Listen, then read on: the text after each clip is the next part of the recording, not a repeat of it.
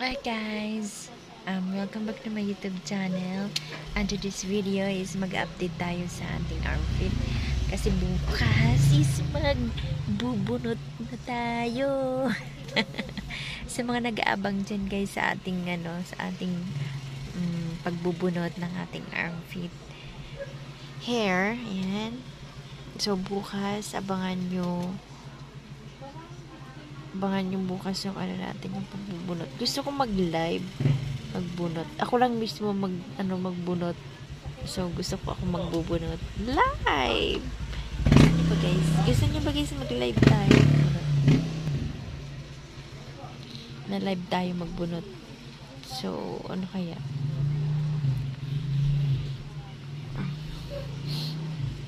Bango wala akong gamit na ano guys ha. Wala akong gamit na deodorant.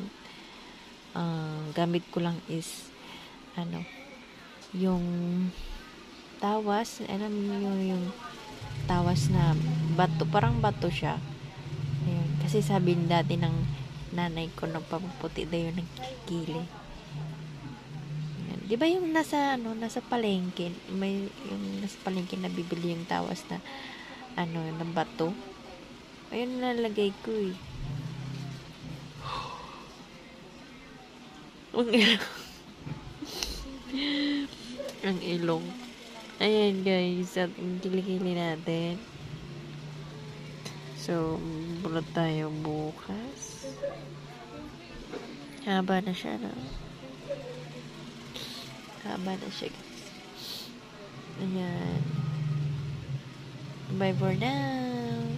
Abangan nyo guys ha. Abangan nyo yung ano, pabunot natin.